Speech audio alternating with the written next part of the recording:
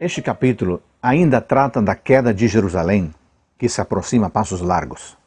Esta destruição não era um capricho de Deus, mas sim o resultado de longos anos de infidelidade, de uma vida totalmente irresponsável.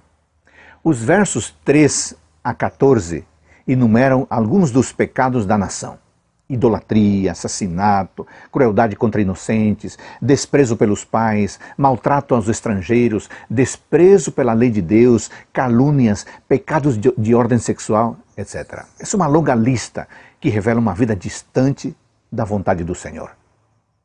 Deus aponta a corrupção generalizada, a começar pelos profetas falsos e também passando pelos sacerdotes corruptos, os príncipes corruptos e o povo corrupto Todos desconsideravam a justiça e a retidão e viviam de acordo com os seus caprichos, viviam de acordo com o que pensavam ser correto.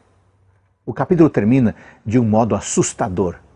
As pessoas seriam alvos do fogo do furor de Deus. Amigos, Deus é a bondade em pessoa, mas sua bondade não o impedirá de ser justo com quem insistentemente viveu de modo errado. Por isso, hoje é o momento oportuno para pedir perdão e para estar em paz com o Senhor. Ao sair para as suas, suas atividades do dia, vá com a certeza de que o Pai Celestial quer estar com você.